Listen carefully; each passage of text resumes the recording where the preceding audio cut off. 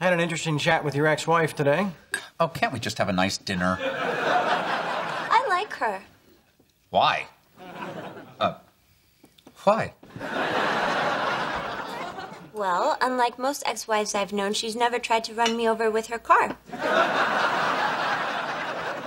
Okay. New dinner conversation. Uh, Jake, how was school? I don't think this conversation will make you any happier, Dad. What now? We had a surprise test today.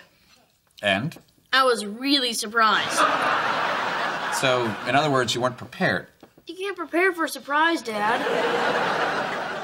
New conversation? Jake, what are we gonna do? You've really fallen behind this year. I know.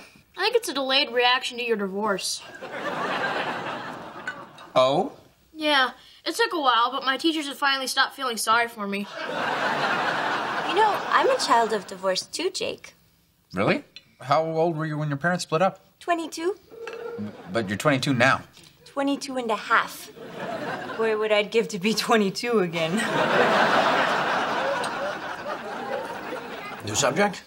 No, no, no more conversation. Jake, i- i- if you're finished, just go do your homework.